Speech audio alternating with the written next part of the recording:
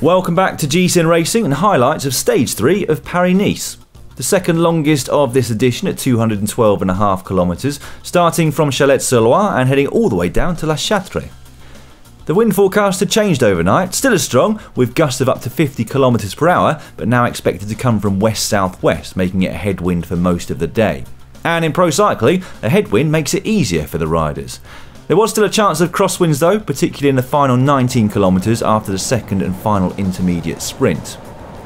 Now in the first two stages, we had breaks of two riders, but today there was only one man, Tom Devriendt of Circus Wanty Gobert. There was a brief skirmish in the main peloton as the Israel startup nation sensed a bit of wind with 80 k's to go, but ultimately it would all come to nothing and everything calmed down once again in the peloton.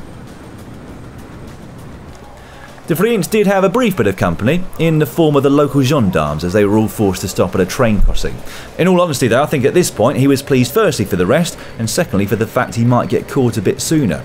Although it still took another 50 k's for that to happen, fair play for Devriendt, just under 200 k's on your own at 35 k's per hour into a headwind is not bad going.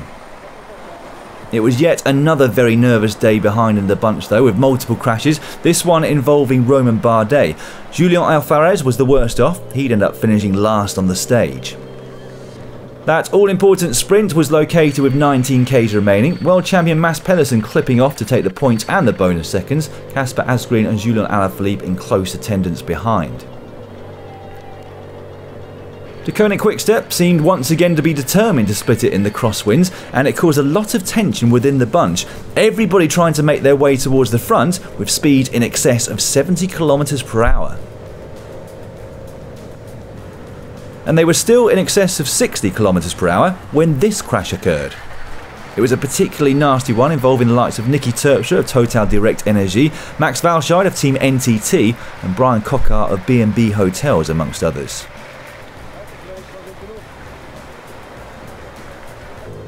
At the front, Team Sunweb had taken a semblance of control as they reached 5 kilometres to go, riding for their big sprinter on the right here, Cees Bol. There seemed to be a constant danger of crashes though, it was tense just to watch, let alone to be racing. Into the last couple of Ks and it was still mayhem. Deceuninck now back at the front in an effort to lead out Sam Bennett. Peter Sagan, though, was looking particularly dangerous, always in the right place, and this was a finish that suited him perfectly. With Deceuninck's lead out disintegrating gradually, Lotto Soudal eventually took over at the front. John Degenkolb, a former stage winner himself at this race, riding for their sprinter Caleb Ewan. But unfortunately for the Australian, both he and Sam Bennett were taken out by Hugo Hofstetter, who got his bike tangled up with Ewan's.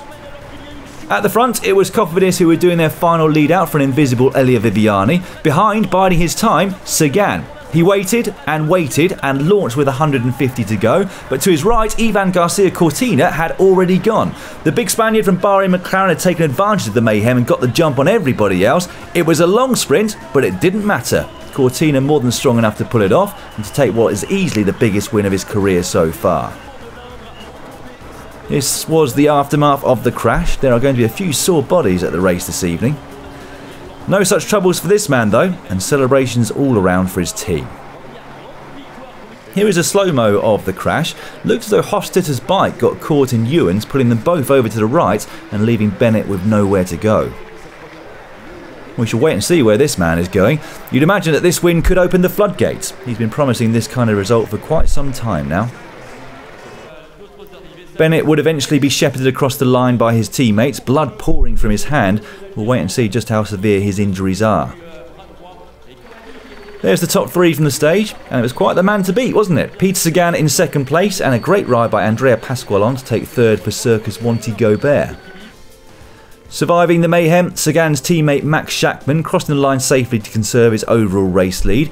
He now sits 13 seconds in front of Nizzolo, Stuyven, Schmidt and Higuita rounding out the top five. Tomorrow, it's individual time trial day. 15 kilometres around a technical little circuit in Saint-Amand-Montrond. The opening half is the toughest from a climbing point of view, but time gaps are likely to be small amongst the favourites.